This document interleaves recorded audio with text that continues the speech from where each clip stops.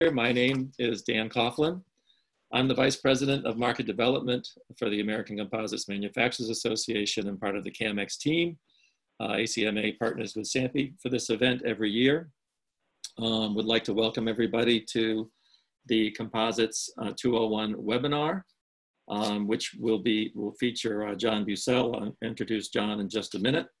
Um, before we, I introduce John, I'd like to introduce uh, Chris Locke uh, from SAMPE. Uh, Chris is SAMPE's Director of Marketing, Membership, and Education.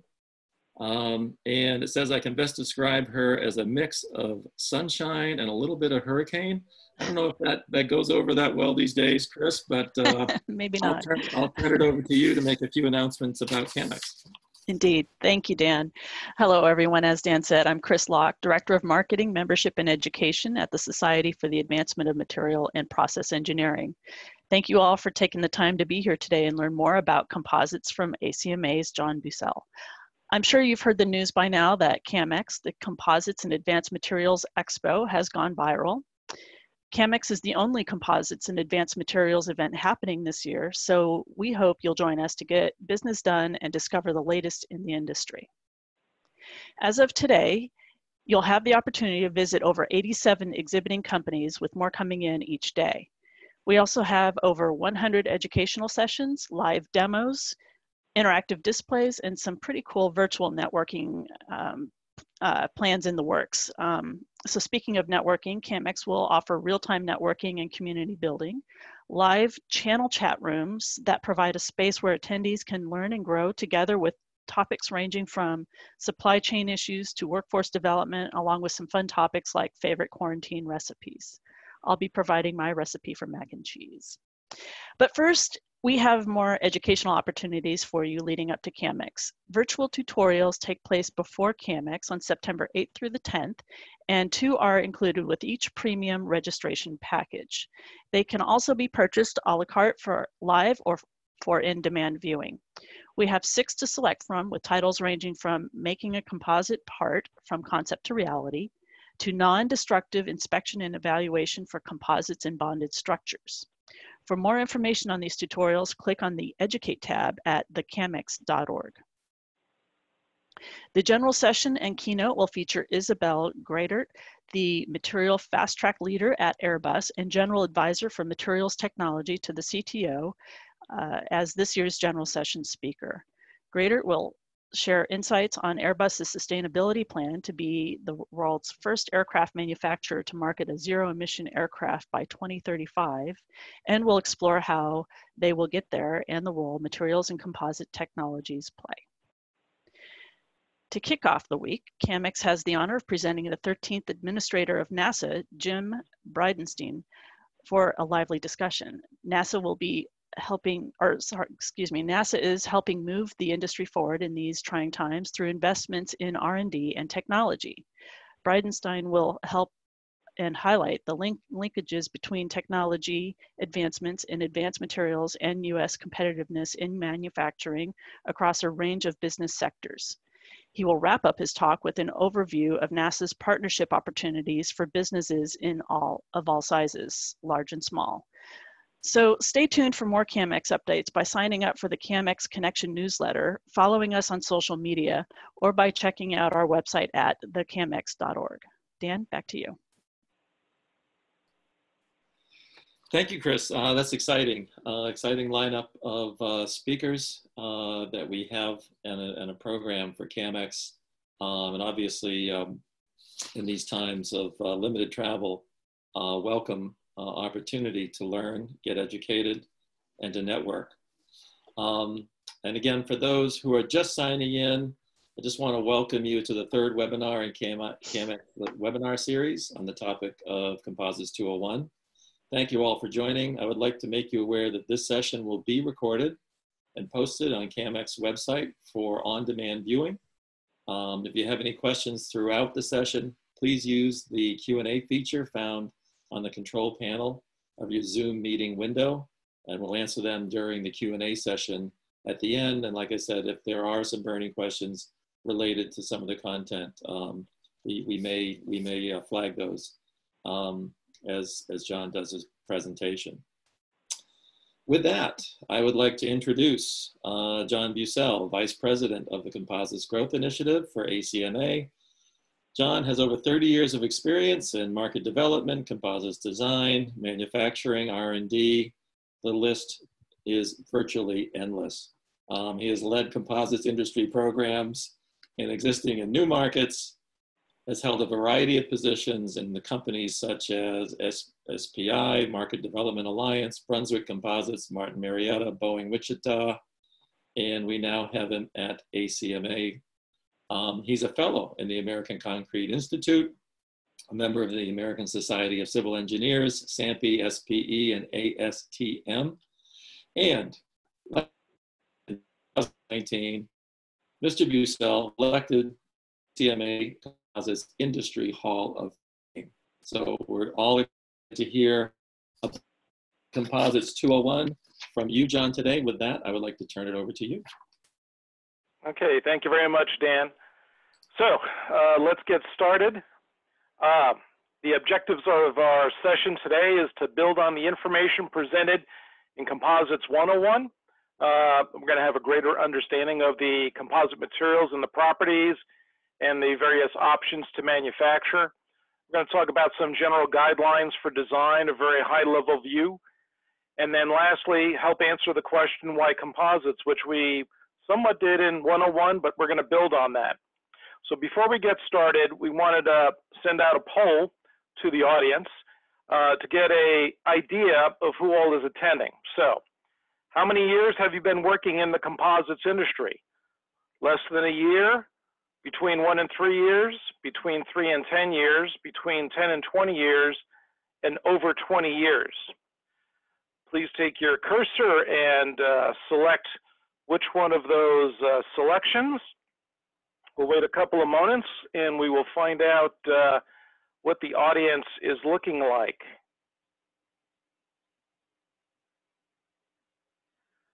So we'll uh, Central Command put up the results? So we're very evenly distributed. And those 17 people with 20 years of experience, I'm calling on you at the end of this uh, webinar to uh, have you field some of the questions. So with that, let's get started. The outline of uh, my presentation will be on fiber reinforcements, polymers, and manufacturing. Similar to 101, but I'm going to go in much more in depth.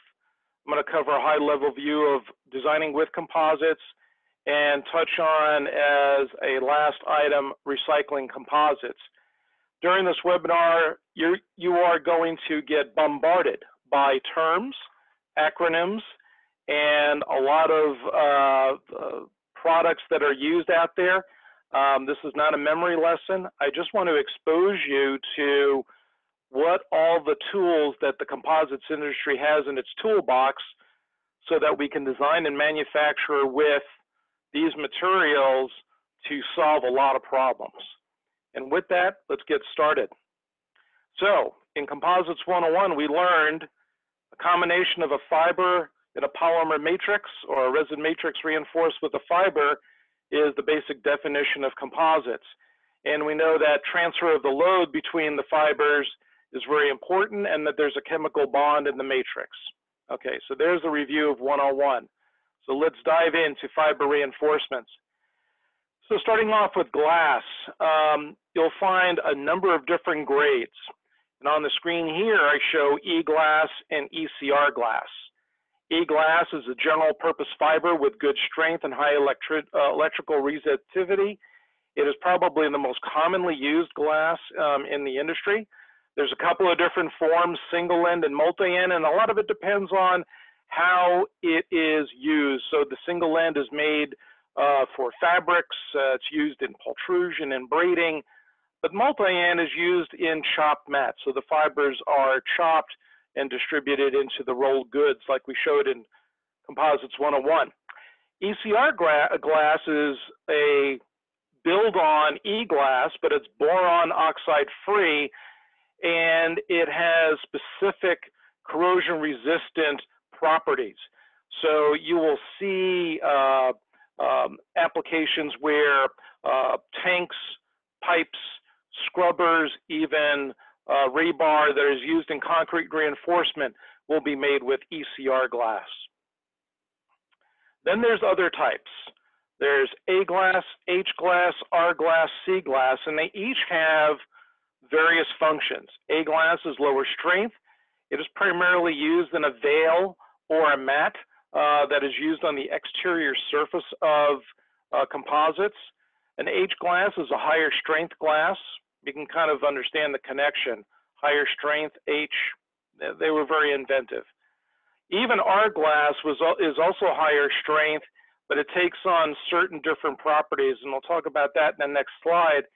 And then C glass is a barrier, uh, very much used exclusively in corrosion environments, specifically acidic environments, where it's a part of it's made in a non-woven veil that is then matched up with the gel coat, and that provides that corrosion barrier in tanks and pipes and things that are of corrosion nature.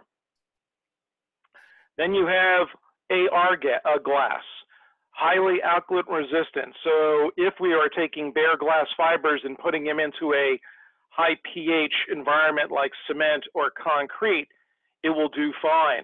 Uh, not all glasses will survive in a high pH environment, but AR glass will. Then S glass was invented many years ago. It's a structural glass, has higher strength and modulus uh, than R glass, but it has very good high temperature and corrosion resistant. There are three different grades of S1, S2, and S3. Uh, it's primarily made by AGY. Then a very special glass fiber called quartz, 99.99%. It's almost like ivory soap. Uh, pure silica, highly expensive fiber, very low coefficient of thermal expansion, uh, primarily used where radio frequency transparency is needed, like radomes, which is the front nose of many uh, of the aircraft that are out there. John, so when you um, look at the various fibers, yes, John, Dan. Uh, we did have a question come up in regards to you, you gave a great rundown of the different um, nomenclatures for glass and how the, the uh, letters stood for something. The letter E in E-glass, does that stand for something that you're aware of? Yeah, electrical grade. Okay, thank you. Yeah, sure.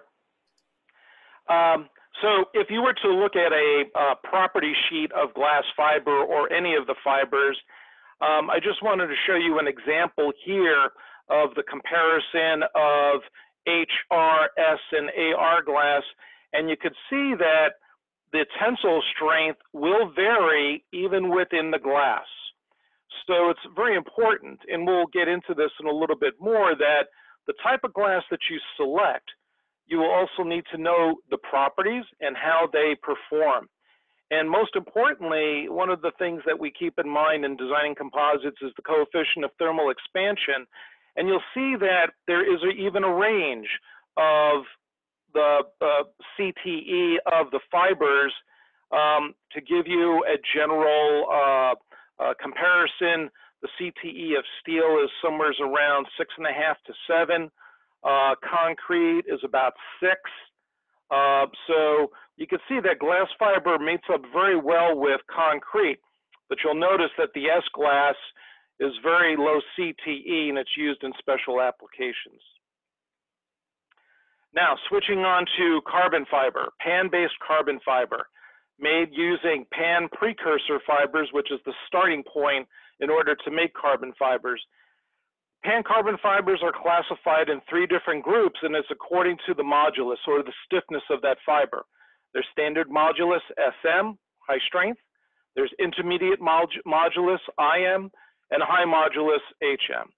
So standard modulus is the most widely used in most applications in the composites industry, specifically industrial applications. It's the most cost effective.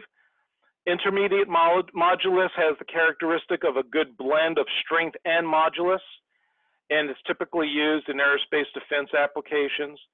And high modulus has a very low CTE, also very high stiffness, and is used in very aggressive environments like spacecraft, satellites, and even enough sporting equipment because somebody wants high performance. So if you were to take a look at the stiffness or the modulus and the tensile strength, you can kind of see the difference uh, between standard modulus, intermediate modulus, and high modulus.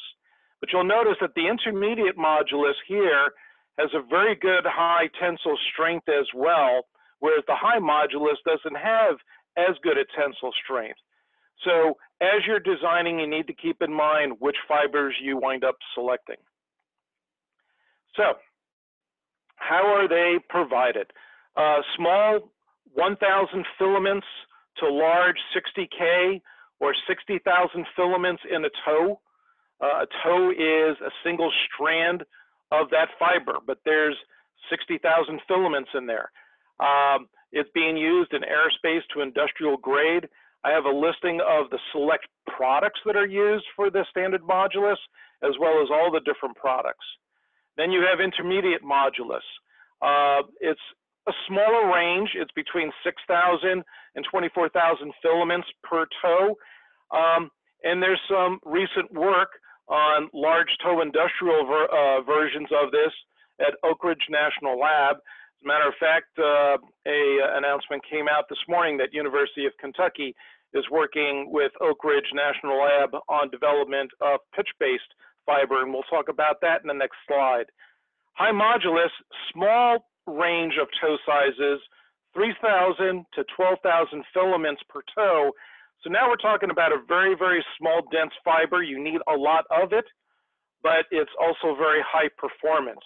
So it, selecting the fiber will also impact the uh, uh, type of uh, manufacturing process that you use. The graph on the right just kind of shows you the range uh, of the various fibers and the categories that they're in. So even if they're high stiffness or high strength, there's certainly a number of variations uh, to select from. Pitch-based carbon fiber, where the precursor is not pan fibers, but coal or petrol tar. Um, it's typically low modulus, but it's mainly used in thermal management applications. Um, interesting enough, it has very small uh, amounts of fiber or filaments, uh, 1,000 to 16,000 uh, K in the tow. And uh, there's also the uh, comparison of utilizing these um, uh, fibers with a low cost precursor. Now, where they're mostly used is in aerospace and even civil engineering, specifically concrete strengthening uh, where it might be reinforcing or strengthening the concrete or even doing a seismic upgrade. Yes, and interesting enough, golf shafts in sports applications because they're looking for that tensile strength um, in a very economical fiber. Then you have polymer-based fibers. And we talked about uh, generic names and trade names. The generic name would be aramid. Aramid is a low density, high strength but a high impact type fiber. And the fiber has a soft failure mode where it doesn't shatter when it impacts or flexes. Um, it has uh, ultraviolet light and moisture absorbent, absorption issues, but you're going to need to use the right resin to build with that. The products uh, are either Kevlar or Twaron. Now, this chart here compares various fibers, and I just wanted to give you a relative comparison. If we were to take a look at glass, carbon, and aramid, and we look at the various strengths and the various stiffnesses, um, they all have pretty uniform density. Uh, if you were to think of steel, which is 0.28, so it's pretty heavy as compared to glass, carbon, and aramid, especially uh, carbon but you also need to factor in the relative costs. This is not absolute, but this is to basically tell you that, you know, e-glass is inexpensive, but intermediate uh, modulus carbon fiber is pretty expensive. So as you're designing or as you're considering using, utilizing materials, need to keep the balance of the properties as well as the costs in mind. So other polymer-based uh, fibers. You have polypropylene, uh, commonly known as uh, uh out there as uh, Innegra fibers. Uh, ultra high molecular weight polyethylene, Spectra and Dyneema are most common. PBO, which is pretty common out there, is Zylon, and LCP, which is liquid crystal polymer. Uh, Vectran is the trade name. They all have their pluses and minuses. Um, they're extremely low density. Uh, some have high resistance to chemicals. Um, you know, it's interesting that the ultra high molecular weight polyethylene is 40% stronger than aramid fiber. So as you select the various fibers, you may need to think about its performance. Even PBO fibers, they're twice as strong as aramid fibers, 10 times stronger than steel. So you need to compare that with the treatment of the fibers and how you're utilizing that in the manufacturing uh, of these uh, composites for the final product. Other fibers which are considered special would be ceramic and boron. Ceramic is uh, in the forms of silicon carbide and oxide alumina, uh, basically known for high temperature applications. Uh, you see on the right hand side uh, uh, engine exhaust from jet engines, very common application. Um, and I believe these materials were developed in the 1970s and were utilized in very high ablative um, applications. Boron is a very expensive fiber, very, very specific. Um, it's known for its tensile strength um, and even high compression properties, which is important in certain applications. Now we get into fibers that are natural, and these fibers revolve around environmental sustainability. Typical uh, uh, types of fibers that you can find can be categorized as bast, leaf, seed, core, and grass and reed are combined. Um, and you probably have seen this in literature in the past, hemp, flax, banana, sisal, uh, jute, uh, and even bamboo. Um, their advantages that they're low density, they're biodegradable, it's a renewable resource, it's a small carbon footprint, they provide good and acoustic, uh, good thermal and acoustical insulation, good vibration, but there are matrix fiber interface issues, and you need to keep that in mind, especially in the selection of the manufacturing process that you select. You don't expect very high load transfer, um, and not every company is experienced in working with natural fibers. And source of supply can be a challenge uh, because most of these plants are grown in developing countries. So as you look at the selection of these fibers, um, they're usually in a non-woven form. Um, and I will say that probably most notably, they're used in uh, automotive interior panels. And I know that Ford Motor Company has uh, engaged in a, a program over the past five to seven years of integrating natural fibers into their automotive platforms. Other specialty fibers, and this question had come up in Composites 101, so I thought I'd throw a slide in here on graphene. Graphene is a single 2D layer of carbon atoms tightly packed in a hexagonal lattice structure. Boy, that's a lot of uh, stuff to put in one mouth. But these are extremely small fibers. So small, it's smaller than DNA. Its strength is 300 times the, uh, times the tensile strength of steel.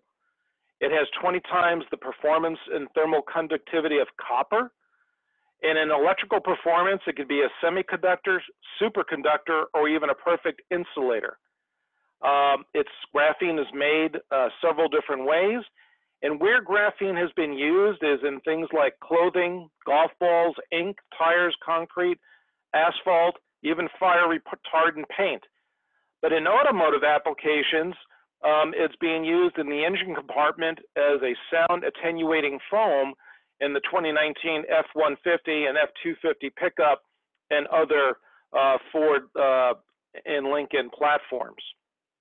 So basically, it's the thinnest, strongest material yet discovered, and uh, there's a lot of opportunity for this to impact the performance of composites in the future. So let's get on to polymers.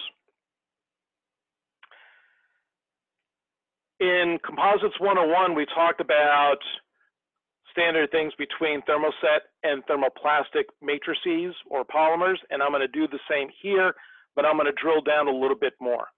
With thermoset matrices, unsaturated polyester resin or UPR accounts for approximately 75% of the matrix resins used in composites molding today.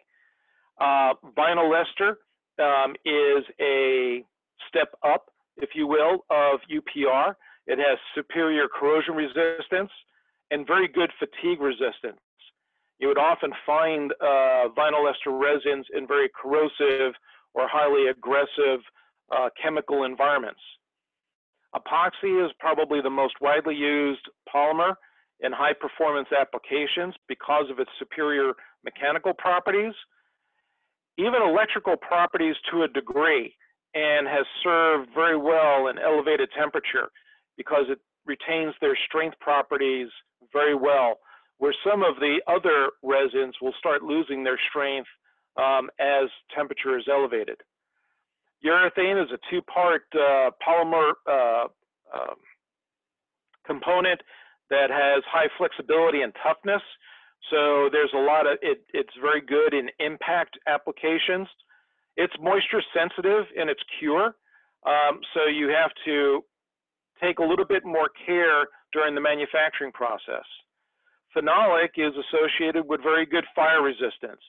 It does have low structural properties, and it's often finding that whether it's being combined with carbon fiber or glass fiber, uh, the uh, fiber volume will be pretty high to make up for those low structural properties in the resin. But you primarily use phenolic when you need good fire resistance. Then we get into the higher end of the industry.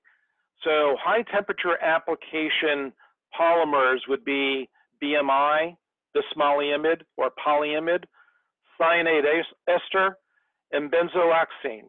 Now, in the graph on the right, you can basically see the comparison of cost versus thermal performance. If you're looking for a low cost resin and you're not particularly uh, interested in greatest of thermal performance, vinyl ester would be a good selection.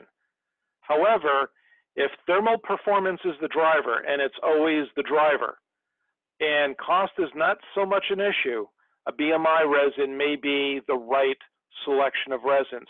But here's a nice comparison of where phenolics, epoxies, uh, and benzoxazine uh, fit in into the relative uh, selection here. Then you have hybrids. You always got to like the chemists in the lab. So now they compare uh, a urethane and an ester. Excellent toughness, good water resistance. You have urethane acrylate. So here you want to get into things where it's a higher temperature application. And then if you want impact and energy absorption, now we add some rubber into vinyl ester, and now it has a very unique blend of, uh, of materials for certain environments. So the one thing that the chemists have done very well is taking the best attributes of materials and combining them together.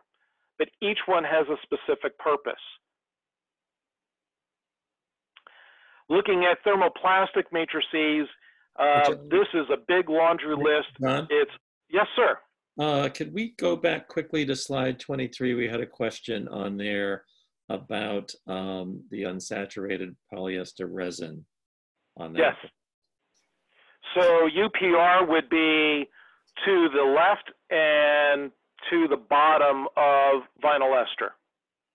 So it's the most inexpensive and its thermal properties would be probably on par with vinyl ester. Thanks, John, and thank you for your Sure. question. Sure. Okay, so we can spend an entire webinar to talk about thermoplastics. But what I wanted to do here was to at least expose you to what are the types and how are they characterized? John, So when uh, you look had- at thermoplastic, We yes, had sir. um, one more question about what is BMI? bismaleimide. Okay. I mean, it, it's a high temperature resin, and much beyond that, I need a chemist. I know a lot of things, but I don't know everything. All right. Thank you. sure enough. So with thermoplastics, uh, they can basically be structured into a couple of different categories: commodity and engineered slash high temperature. So commodity are things that we pretty much commonly have heard about: polypropylene or PP, or polyester, which is PET, and in some respects, nylon 6, nylon 12. Low cost, good performance, um, excellent chemical resistance for each one of these, uh, and made it up with either carbon fiber or a glass fiber. Um, it's pretty much the uh, the run of the run of the mill that you would find with thermoplastic composites. But then when you get into things where you need a superior chemical resistance or high thermal stability or even higher fire resistance, you're now getting into a category of very uh, superior engineered high temperature resins, whether they're polyether imide, uh, uh, PPS, PEEK, or PEKK. Um, like I said, this requires probably an entire hour just to unpack this. My intention here was just to give you the comparison of the types of tools in the toolbox that you can select when it comes to thermoplastics. So now we get into uh, manufacturing processes, and I'm going to talk about the process and the product characteristics so you can see why one is selected versus another, and some of the pluses and minuses. So in the world of manufacturing, teamwork is important. The design engineer, stress engineer, manufacturing engineer, materials engineer, tool designer, tool engineer, the technicians on the floor, inspection and quality, everybody's got to work like one big family if things are going to be successful. So I'm off my podium now, but this is really, really important. In Composites 101, we talked about the various selection criteria being surface complexity, performance, appearance, size of the part, the production rate, the production volume, and the economic target. And all of that contributes into which processes you would select. We also reviewed in 101, you know, open molding is where one side of the tool surface is, uh, is one side of the tool, uh, where the opposite side of the tool, opposite side of the part was not tooled. Where closed molding, there was tool surface on both sides, and there was common, basic, and advanced. And we're going to go through most of these today, and we're going to point out the differences between uh, cost, uh, different between the process, and what type of products you would get from them. So uh, the next couple of slides, I'm going to talk about the various manufacturing processes that our composites industry does today that we can select from in order to make uh, any type of product. So the ones that are shaded or highlighted in green are ones that we're going to touch on. Uh, the other ones I do not have time to cover. Uh, maybe that's going to be a composites 205, but that's not for today. So we have casting, which is cast polymer molding, centrifugal casting, filament winding, both pre-preg and wet tow, hand layup uh, in, in a standard wet layup or even pre-preg. Then there's spray up. And compression molding, and in compression molding, there's a number of different materials that are utilized in order to uh, take best uh, advantage of the compression molding process. There's continuous lamination, cured in place pipe, extrusion, injection molding. And injection molding, pretty much everybody understands uh, where it's utilized. Uh, you know, uh, this uh, water bottle here was injection molded and blow molded, um, but it doesn't have any fiber in there. There's pultrusion, RRIM, resin transfer molding or RTM. We'll touch on light RTM.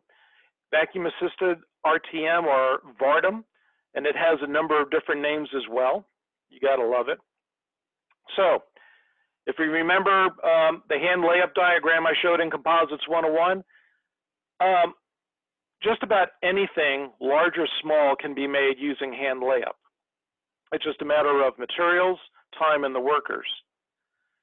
And there's wet layup, vacuum bagging, same thing, just about anything large or small can be made uh, from utilizing these type of, this type of a tool or this particular process. And then we have spray up, which is a little bit more automated. It's taking uh, a catalyzed resin and chopping fiber at the same time to be sprayed onto the mold. You would find that with boats, tubs, showers, sinks, and even panels. Uh, so depending on the size and the cost will make a difference. So we look at the process characteristics of hand layup and spray up. The max size is unlimited. The part geometry can be simple to complex. Cycle time is slow, but the tooling cost and equipment cost is low as well. Um, and the surface finish can be as good as the tool is. So in most common applications, you'll find hand layup and spray up, which is one of the more common manufacturing processes in the industry. So the product characteristics, again, you'll have small to large parts achievable. It's a cost-effective solution. It has been used and continues to be used in prototype to pre even production parts. Um, complicated layups can be made. Um, inexpensive to expensive materials can be used simultaneously. Um, with spray up, it can be automated and not uh, hand applied, but for the most part, hand layup and spray up is highly operator dependent. And there's the potential for wide variations in quality if one does not stay focused on the process. Filament winding, typical things you'll find are utility poles, columns, pipe, missile casings, tanks, stack liners. The diameters can be anything less than 65 feet in diameter. Uh, they can be manufactured horizontally or even vertically. Part geometry is simple. It's a body of revolution. The production volume is low to medium. Cycle time is the same. The surface finish on the inside is good. The outside is fair because it depends on the material, whether it's a wet material uh, a wet uh, in situ layup or it's pre-preg. But the tooling cost can be medium to high. And again, a lot of it depends on the size and whether it's being done in the field or whether it's being done in the factory. One of the major characteristics of the product is that it has directional strength. It's computer controlled, so you know exactly where that fiber is going to be. And if you remember from Composites 101, uh, composites are directional in their nature. So if you need strength in a particular direction, the best way to do that is computer controlled. It is low labor because of the automation that's involved. And there might be emission controls if you're not using pre-preg tow material in the product. Centrifugal casting, very similar to spray up, but in this case, it is used for making cylindrical hollow, hollow shapes like tanks, pipes, and poles, where the chopped strand mat and resin is placed on the inside of the mold. So, John, um, yes, sir. I a question around the cost that you talked about. Is that per square inch uh, of the finished part? I guess it could be. I guess it could be. Um, you know, it's just a general comparison of what the cost would be uh, relative to other manufacturing processes. Okay, thank you. So, uh, in centrifugal casting, because it is being uh, manufactured in a horizontal nature, usually don't find diameters greater than 15 feet. The part geometry is simple. Tooling cost is medium in the effect where it's the mandrel that you're uh, paying for. Uh, cycle time can be low. uh, but the surface finish will be good, especially the outside surface. So it's a body of revolution as the product, um, and it's limited in part size, and it's going to be dependent upon the size of the mold and the machine. Again, certain products are, it's a very efficient uh, uh, process because it's like spray up, uh, except it's dealing with certain geometric shapes. Then we talk about compression molding. Matched metal dies, now we're into closed molding, right? So compression molding is going to be limited by the press machine. Uh, and there are presses that are six feet, eight feet square. Um, part geometry can be anywhere from simple to complex. The production volume is high. Um, and it's because of the types of materials that, which you, that you would use in the compression molding. Cycle time is fast. Surface finish is good to excellent, but the tooling cost and the equipment cost is going to be high. So as you amortize the materials, I mean, as you amortize the equipment, um, you have to keep in mind for what type of production are you going to be using this for, and it's always used in a high production environment. Um, the nice product characteristics that you would find from compression molding is that the inside and the outside has a finished tool surface. And because of the high volume, you're going to have a lower part per part cost. Um, and if you do the job right um, in a compression molding application, there is low finishing cost. You can often mold the material right to net shape. One thing that's very unique about compression molding is that there's close part tolerances, and you can mold in texture uh, and color, um, and even connection inserts if needed. So again, uh, one of the things that compression molding does do is support sustainability where you minimize scrap materials that come from the process. Now, there are various materials that you can utilize in compression molding. Sheet molding compound, SMC, bulk molding compound, BMC. With SMC, um, it's basically a mixture of uh, resin, fillers, fiber reinforcement, pigments, stabilizers, thickeners, all in a uh, um, all in a carrier uh, that is between two plastic sheets that is placed into the cavity when the molds close. It squeezes out, if you will, uh, the uh, the composite charge, and out pops out the the part. Very good in high volume applications. There's high equipment and mold costs um, because of the uh, making sure that you have enough heat in the right applications, and it also depends on the configuration of that part, which would lend itself to higher mold costs. Uh, the process is very reproducible, um, and as I said earlier, directly formed to net shape with integral ribs and bosses is probably the highlight um, in how, how this material system is used in compression molding. You also have BMC, or bulk molding compound, and it's essentially like a putty-like form that is used in injection molding and in BMC applications. Very similar to uh, SMC, um, a tad bit messier if it's used in uh, in compression molding as compared to uh, injection molding, but you can mold highly complex shapes. Um, and it's a very low cost alternative, which is very attractive um, in the selection of this process. Pultrusion. Common products that you would find would be bridge decks, rebar, structural profiles, you know, angles, channels, rod, sheet piling, dowel bars, utility poles and cross arms, cable trays. You get the you get the understanding here. The length is unlimited. The width of the tool is going to be its limitation. Very simple to very highly complex part geometries. The production volume can be medium to high, and much of that is going to be dependent upon the resin that is selected and the fiber architecture. How much roving are you using, uh, either glass or carbon fiber in that laminate? Cycle time is medium.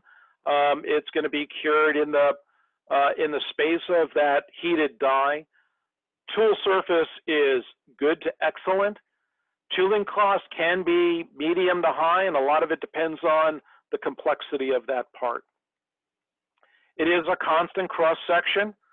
It can only be done in continual, uh, continuous lengths.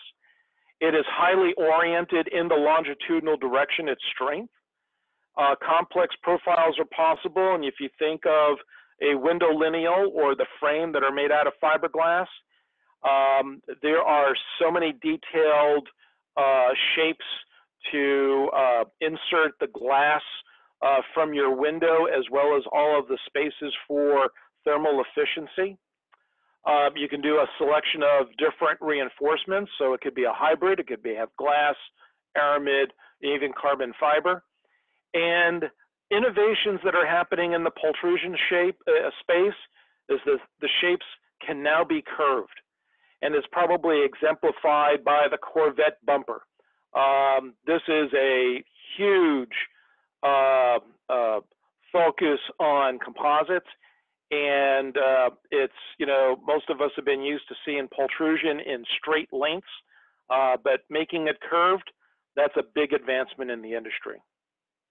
Resin transfer molding, uh, two dies injected molded in a cavity. There's two different types. There's light RTM and RTM. And the difference here is the pressure. With light RTM, you're using low pressure and it's matched with a low tool, low cost tooling, where RTM is done under high pressure, uh, very sophisticated matched metal tool dies. So again, uh, how and which one is selected is dependent upon whether you're doing something that is prototype or production. Characteristics, size of the tool itself. So let's call it six foot by six foot would be max. Very complex ge uh, geometry is possible. The tooling cost and the equipment cost is medium, and depending on the geometry, it could even be high. Uh, molded in finishes is the product characteristic, and most importantly, molded in stiffeners and connection points. Uh, this is probably one of the benefits where you want reproducibility uh, when parts are assembled later on. Vacuum infusion processing, or VIP, otherwise known as VARTM, resin infusion, and even the trade name SCRIMP, uh, primarily used in boats, marine piling, bridge decks, and architectural products. The max size is unlimited, and part geometry is simple to complex.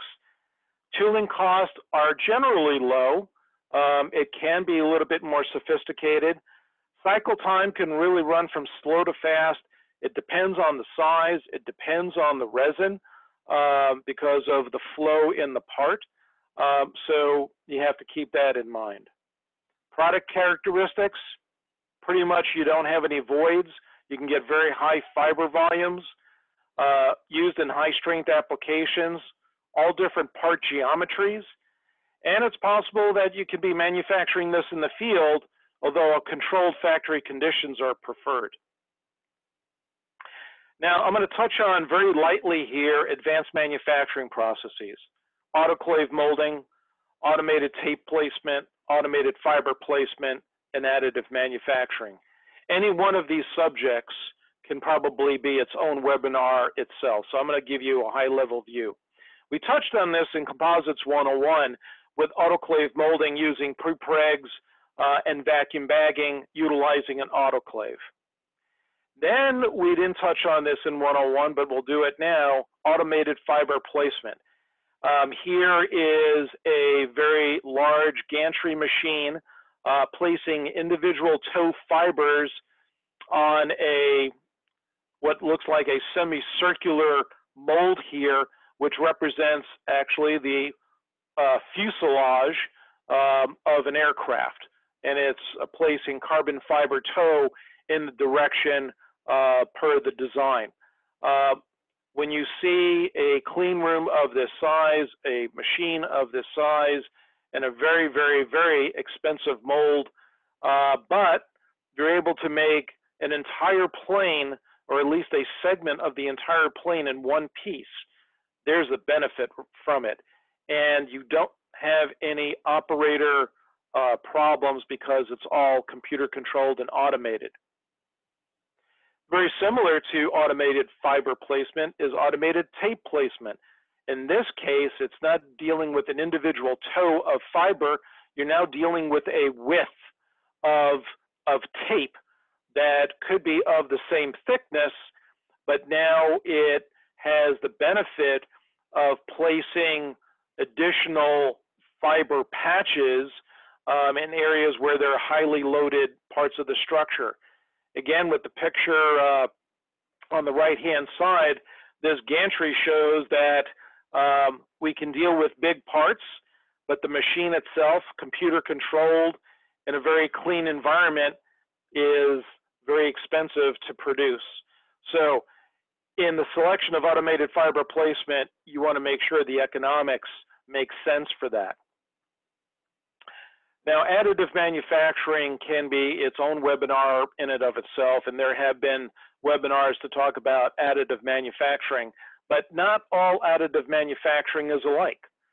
Um, as you see from the list here, uh, whether it's 3D printing, digital light processing, fused deposition modeling, and stereolithography, they each have advantages and disadvantages.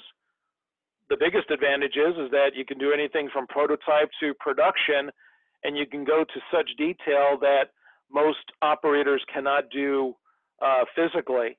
And then you have something that's called big area additive manufacturing. So now we get into situations where not only are we making parts, but now we can make the tools that will be curing the parts. So the tool that you saw with the automated fiber placement can now be made utilizing additive manufacturing. And that gives an incredible uh, tool to the tool engineer, if you will, uh, to uh, try out and test um, how his design is working. Process characteristics that you'll find from small to large, simple to complex. The tooling costs will be high, the equipment costs will be high.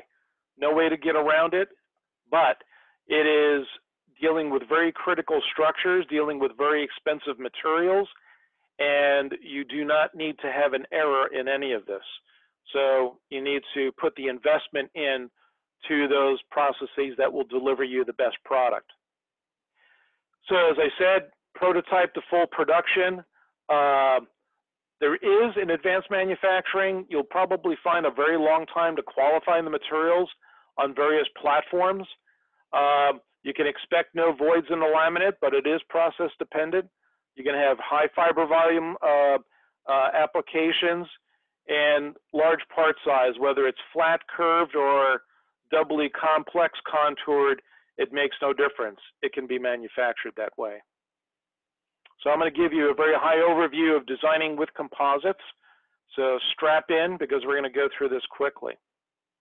So as a review from Thinking from Composites, a, uh, from Composites 101, a composite design should not imitate both form and function of an existing design in another material if composites are to offer value, and you need to keep that in mind. We talked about the various composite features that we can design into uh, its final performance. So we have short fibers. So why are short fibers used? Uh, a very low cost, high production alternative. Uh, it is very easy to fabricate complex part geometries. And with the randomness of the fibers being placed, uh, you can essentially get to almost an isotropic behavior uh, because of that random.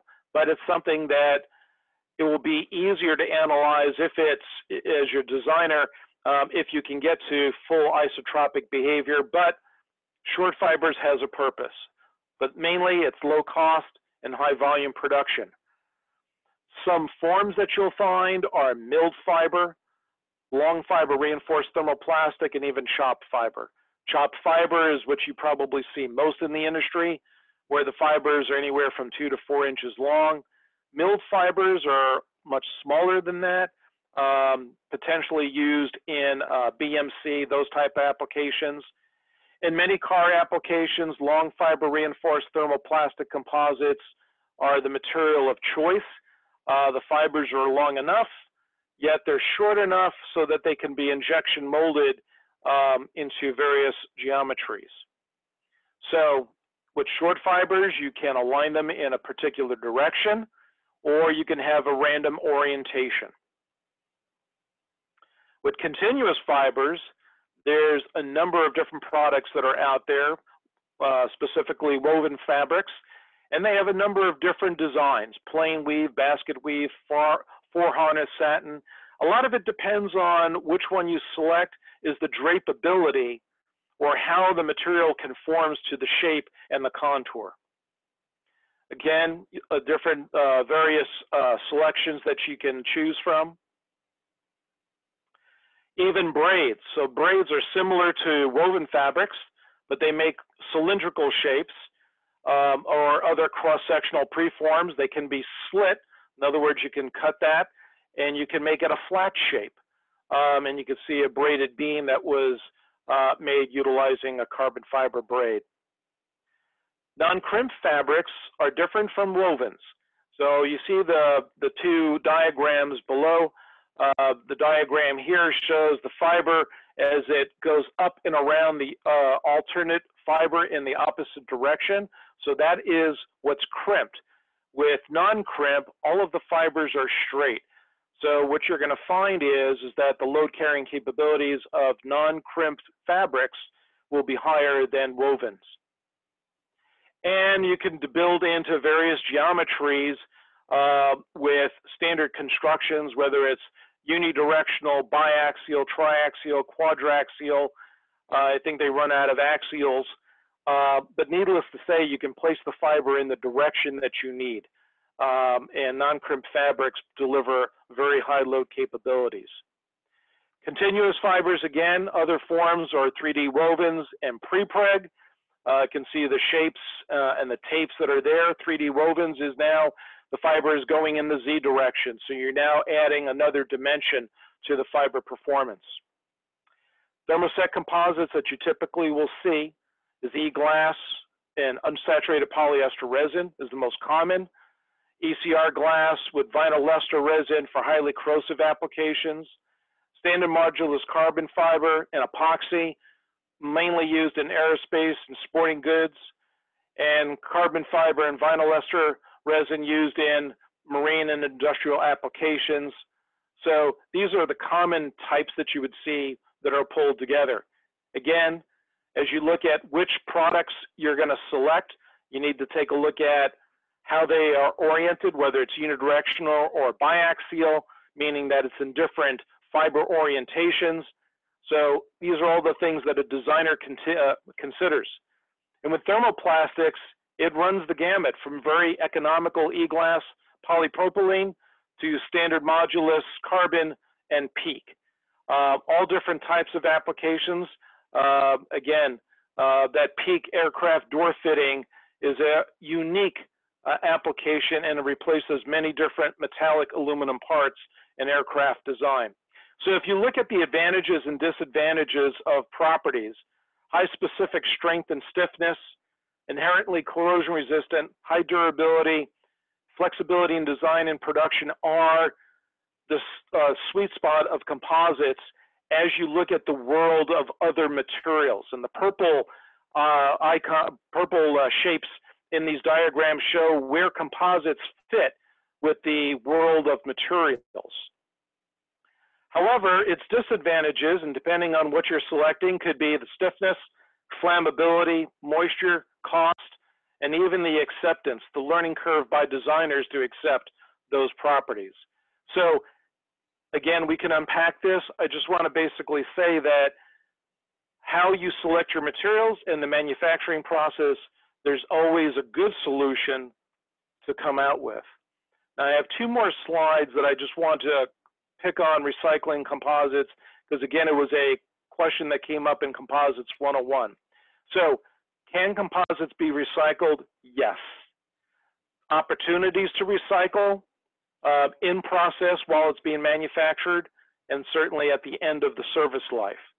There's many different processes that can be used to do it, whether it's mechanical grinding, thermal in the form of pyrolysis, thermochemical in the form of solvolysis, electromechanical, and actually any combination of these, but there are advantages and disadvantages of each. I'm not going to unpack that here. Thermoplastic composite materials can be shredded and recycled by melting, but the supply chain is limited. So as we think about recycling composites, there's a certain business proposition that goes along with it. Glass fiber, it's about volume. Carbon fiber, it's about value. And certain existing markets today are exploring how composites can be recycled for their end use applications, specifically wind, aerospace, automotive, and marine. Cement co-processing, otherwise known as cement kiln, is one of those successful opportunities for recycling composite scrap. But most importantly, establishing the recycling supply chain to collect, sort, process, and deliver composites is going to be very important. The market pull from the end user in wanting to utilize recycled composites, standardizing how we process, select, and use these materials, and most importantly, the composites industry needs to think and design for sustainability. So that cannot be underscored. So with that, I want to thank the following people for helping contribute to the content of this presentation. Trevor Grunberg with Vectorply, Andrew Polkawalk, my colleague at ACMA, Steve Rogers at Emergitech, and my, my big kahuna, Dan Coughlin at ACMA. Thank you, John. Uh, you covered a lot of ground there uh, in a short period of time. I'm sure the folks out there have a few questions for you. Um, please submit those via the Q&A box. We have had a few questions come in. Um, so um, question about the resin and fiber placement. How do they work um, in terms of additive manufacturing or 3D printing? Um, how do they come together, John? Yeah, so that's that's the portion that I I flew over uh, because that is a very uh, uh, detailed question. So if you think of a nozzle and any sort of nozzle, there are feeds in that nozzle of a resin and in some cases a fiber where it is then distributed in a particular pattern that is based on the computer path that is selected for that additive manufacturing application. The fibers are short fibers, they're not continuous fibers, so placement of the fibers is very specific. Most of the additive manufacturing that is done out there utilizes a thermoplastic resin. However, there are recent advances of using thermoset resins. And you know, there's pluses and minuses of what materials you would use. Uh, but needless to say, it's very, very sophisticated to deposit the, the resin and the fiber in a precise pattern and making sure that that pattern follows a particular path that allows for cure and allows for placement. So that's very important when it's done in the manufacturing process. Thanks, John. Um, and, uh, you know, I just also wanted to point out a lot of what you covered in the presentation at the overview level. There will be a number of sessions focusing on this uh, during CAMX, um, including additive manufacturing, advances in materials, bonding and joining, uh, design and analysis, uh, sustainability, recycling, manufacturing process technologies, various market applications for the technologies that John has talked about. And really, um, you haven't had much time to go into that um, in this presentation, but of course, you could probably give an entire tutorial just on the market applications for just a few of these uh, technologies. Um, you know, non-destructive evaluation and testing uh, also is a, is, a, is a very hot topic. Um, John, just to talk about um, as we uh, pull in uh, a few more questions here, um, how do you overcome weakness in uh, Z direction in the additive manufacturing? And I, I know um, that has come up, and in fact, I had some personal experience with that. They, they created um, a little um, sort of tube to put on the pin on golf courses to lift the ball out of the hole so you didn't have to touch the pin. And it was 3D printed. Um, and what, but one of the problems was they came apart because it was built in layers, they came apart um, in the Z direction. So great question. Um, how do you overcome the weakness um, between the layers in the Z direction and additive manufacturing? Um, you know, um, it that is a challenge. Part of it is the bond of fiber to the resin. You know, as I said, when a nozzle is passing over uh, components within additive manufacturing, it is it's placing the material at the temperature where it is soft and manageable, but it is controlled where you know how long it's going to take to cure. When you add the fiber in there, you have the potential to not only uh, provide a bond uh, in an XY faction, uh, fashion in the plane in which the materials are being distributed, but what has now has to change is the geometry so that as it goes vertical, it now takes on the stiffness that's required. You know, it's a very, it, I think this is an evolving part of additive manufacturing uh, we're seeing today. Um, and I have to scratch my head a little bit right now. Uh, I've seen additive manufacturing with concrete in developing the base for wind turbine um, installations. And recognizing how much load goes into the base, I'm trying to figure out how do you get the appropriate uh, reinforcement and stiffness in the concrete as you're having a lot of weight above that base.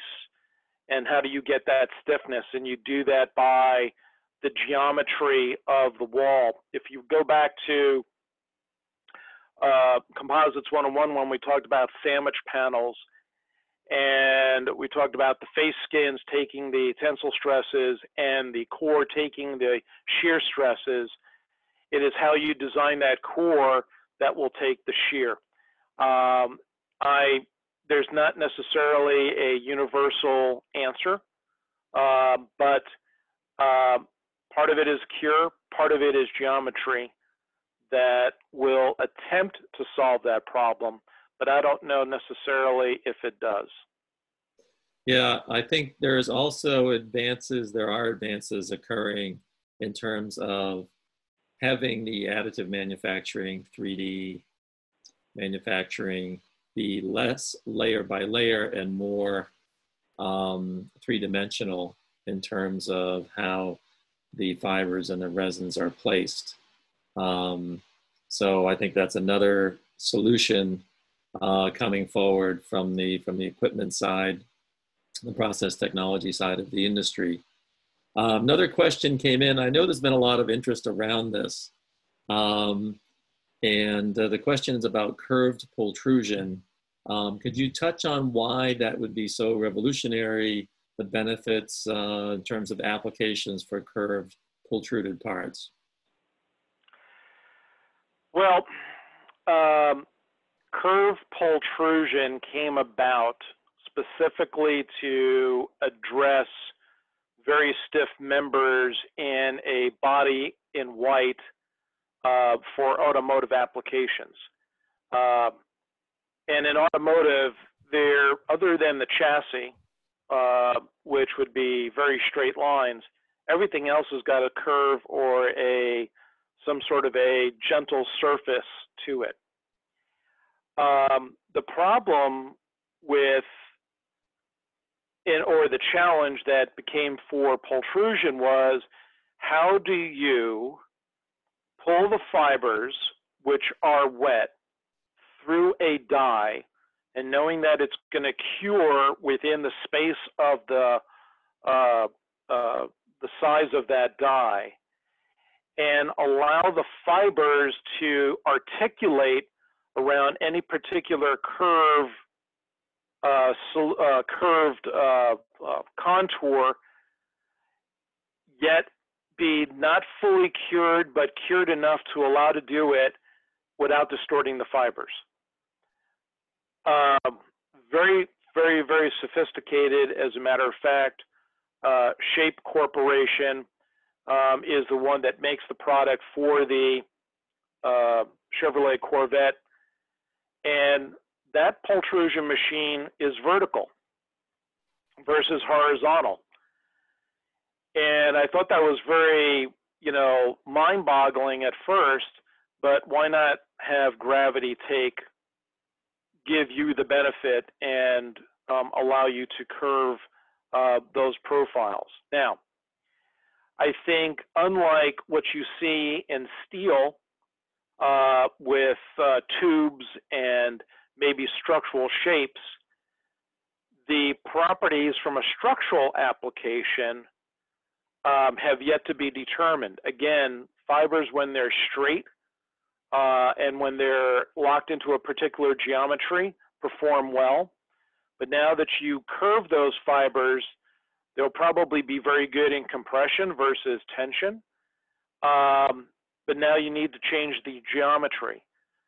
You know, one of the things that uh, uh, the industry did back in the late 1990s was we understand why steel is made the shapes that they are because that was an easy way to roll molten uh, steel uh, and to take out as much weight as possible, recognizing the density of steel. It's not necessarily the most efficient shape for composites. And during several uh, research uh, uh, uh, programs, we identified that shapes like trapezoidal, hexagonal shapes were much more efficient for composites um, and to take greater load than steel would ever would in those typical manufacturing operations.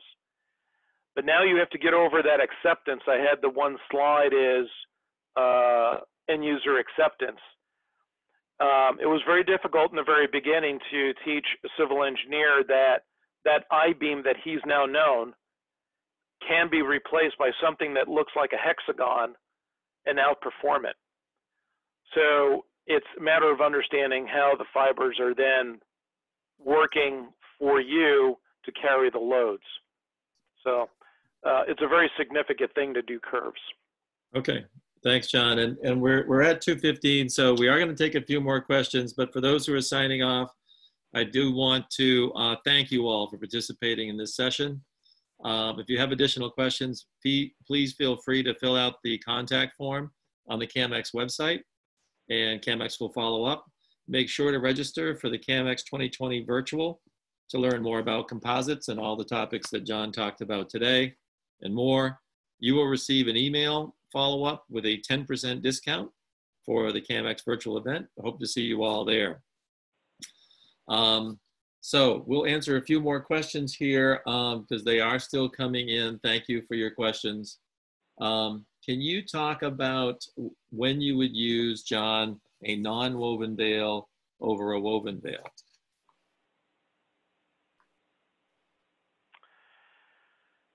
I would use a non-woven veil when it is a specifically a corrosion barrier. Um, the veil itself is not taking any load. It is there as a barrier. It's there, and specifically when it's a veil, it is um, providing structure to a gel coat, which is a resin uh, barrier. Um, so it lends itself to a function of corrosion. It also lends itself a function to cosmetics. Whereas a woven um, is going to take more in a load um, application. Um, but I personally haven't been involved with many uh, non-woven veils that um, have done that. Yeah, and obviously we will have um, a chat feature uh, during CAMX. Uh, you can visit many of our exhibitors uh, to talk about these in more detail. I would recommend, um, you know, chatting with the folks uh, who supply uh, fiberglass. Uh, can talk to you more about those applications um, during CAMX. Um, another question came in regarding, can you elaborate on the difference between non-crimp fibers and woven fibers? Okay, so um, let me try to figure out how to best explain this. Non-crimp fibers are taking uh, bundles uh, of tow that might be to the order of 24K uh, bundles that are essentially laying those fibers or those tows in a particular pattern in a flat plane. So it lends itself, and if I can go back to, whoops, if I can go back to this one picture, um, you can see that, you know, if each of these tows are placed next to each other and then placed on top and stacked, that's providing the ability for the fiber so that when it is uh, uh, reacted in tension, you're taking the full uh, component and advantage of the fiber and its maximum tensile capability.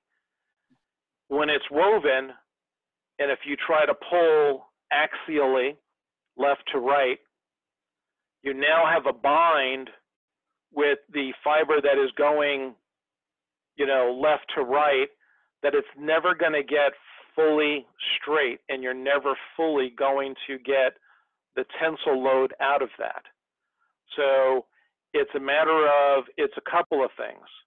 One is how much is the load transfer of that particular fabric um, for the application? And the other thing is how much contour is there with that uh, with that application. I've seen more stitch bonded where the fibers are in in the in this particular fashion on flat surfaces versus woven products here that would be more in drape. Uh, so you're dealing with contour and shape that probably lends itself, the geometry lends itself to more strength than the actual fiber itself. I don't know if I exactly explained what the uh, uh, asker was looking for, but that's essentially the differences between the two. Sure, and, and people are welcome to follow up and submit submissions um, to the site, and uh, also uh, the exhibitors we have a CAMX very knowledgeable in these areas, help you. Um, we do have a couple of questions that have come in regarding calculation of energy to cure the composite um, by oven versus autoclave and the curing cycle uh, for convective method. Um, I think those are very good questions. Um, if you would, wouldn't mind submitting those and providing some more background, I think we'd like to answer those in, uh, in written form. Uh, and again, uh, the folks supplying autoclaves um, at CAMX and other process equipment uh, will be very helpful, but we'll get back to you on those uh, in writing if you want to submit those and maybe provide a little more background, what you're looking for so we give you the right question.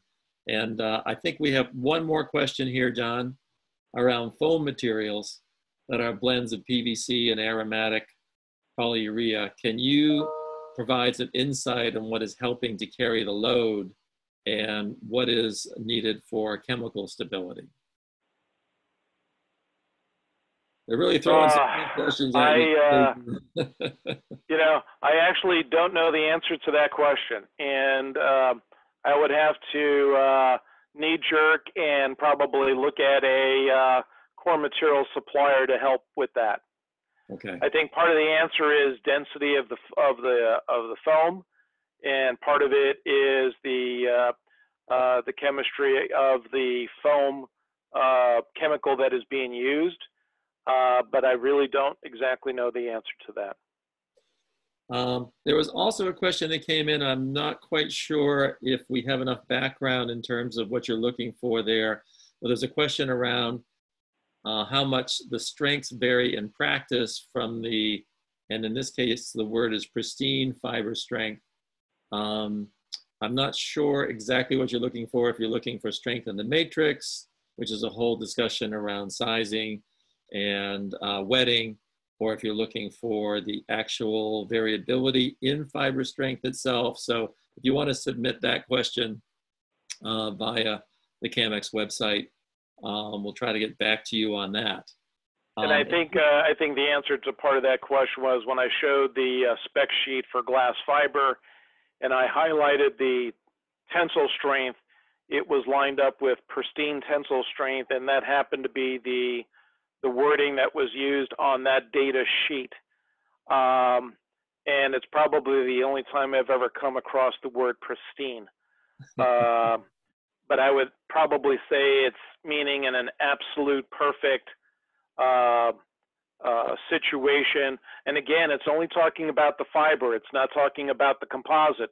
The composite is the fiber and the resin, right?